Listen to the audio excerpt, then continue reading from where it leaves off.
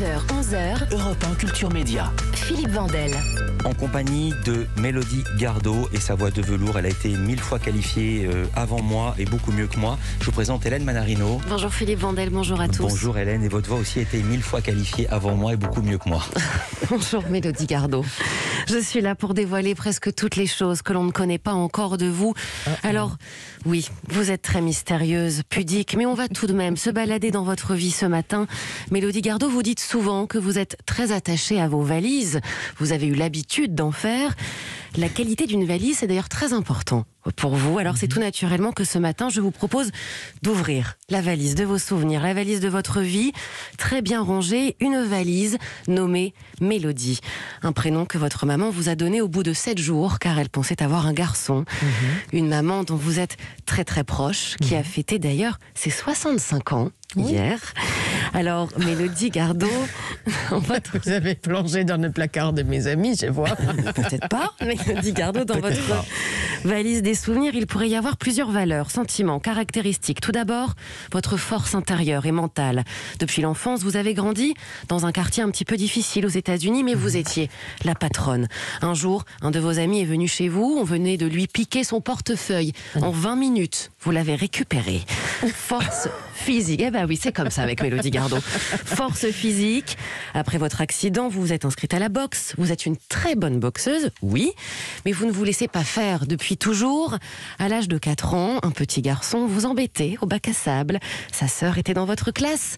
Et un jour après la récréation, vous êtes monté sur la table en pointant du doigt cette jeune fille pour insulter son petit frère. À 4 ans À 4 ans.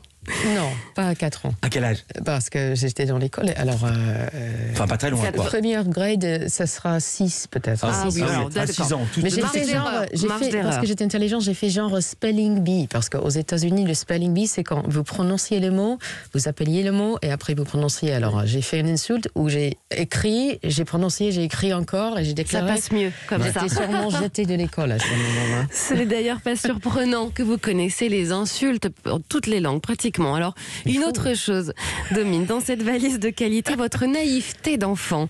Quand vous aviez 5 ans, vous n'aviez pas trop à manger, vous preniez un petit panier pour faire le tour du quartier et demander aux voisins s'ils n'avaient pas quelque chose et vous rentriez chez vous en affirmant Maman, j'ai fait les courses. Ce cœur Ça, c'était à 4 ans. sur la main des autres, c'est celui que vous avez. Et oui, sans misérabilisme, juste de la sincérité, la vôtre. Vous êtes capable de descendre dans la rue pour apporter un plat que vous n'avez pas fini à un SDF, curieuse des autres, touchée aussi par leur histoire, faire plaisir à vos proches, soit en leur coupant les cheveux, notamment pendant le confinement, ou alors Comment vous savez ça? Elle sait tout, Hélène. Elle Ou sait tout, alors, Hélène. offrir des fleurs, vous aimez ça. D'ailleurs, vous auriez aimé être fleuriste. Vous avez beaucoup d'amis fidèles qui souffraient longtemps de ne pas pouvoir vous joindre puisque vous avez un portable que depuis 3-4 ans. Mélodie Gardot, douce, oui, calme. Vous n'aimez pas le bruit de la ville. Le bruit de la perceuse aussi vous agace. Vous détestez être stressé par les horaires. Vous rêvez de plage au Brésil, d'être allongé avec une guitare dans un hamac. Vous détestez le froid. C'est pour ça que vous ne jurez que par des pulls en cachemire. Vous êtes capable de passer des heures dans un bain, vous détendre devant un opéra. Ah, Ça, c'est mon bureau. Les séries criminelles aussi, vous aimez ça, votre film préféré, Le Parrain. Bref, vous aimez être cool, vous faites du yoga aussi, mais face à ça, vous êtes capable d'être une véritable pile électrique qui ne s'arrête jamais. Et là, on va déplier ce qui est rangé dans la partie humour de votre valise depuis l'enfance. Déjà, votre théâtre de marionnettes que vous aviez construit, vous imitiez la voix d'une vieille dame, c'était très drôle. D'ailleurs, vous avez gardé ce côté imitation, vous imitez à la perfection la californienne. Alors, il faut nous le faire, Vous pouvez le Mélodie. faire. Oh, mais ça, je veux pas. euh, I don't want to insult anybody, but it's a, it's a thing. So, oh my God, I'm so happy to see you today. Like seriously, do you guys have any coffee? I was hoping there was a Starbucks nearby. Is there a Starbucks here? Oh my God, seriously, it is amazing. Is this a TV? Am I on TV right now? Oh my God. Wow, how's my hair? Is everything c'est- fine? Can we, can we, are, is the bon marché open? Because I really need some shoes. Voilà, elle veut des chemises au bon marché et elle râle parce qu'il n'y a pas de Starbucks ouvert. Merci pour la traduction. Alors, vous faites également systématiquement des blagues, et oui, vous aimez ça. D'ailleurs, après votre accident, vous aviez donné des surnoms à vos cannes. L'une portait le nom d'un cocktail, l'autre s'appelle Giuseppe. Mélodie Gardot, femme gourmande, vous êtes capable de vous lever à 3 heures du matin pour finir le gâteau de la veille. Petite, vous détestiez les, les légumes et vous les planquiez Ah, sous la Non, table. Non, non, mais attends. Cette histoire de gâteau, je suis pas cette fille qui se réveille le. Non, mais le ça peut arriver, Non, mais ça, ça est arrivé exprès pour une raison. Je vous explique. hein. J'étais avec quelqu'un qui, le jour avant, c'était mon gâteau d'Annie, hein, qui, le jour avant, a bouffé le morceau qui était réservé pour moi. Ah non. Alors, le reste du gâteau, la dame qui a fait gentiment m'a filé parce qu'elle a compris que voilà.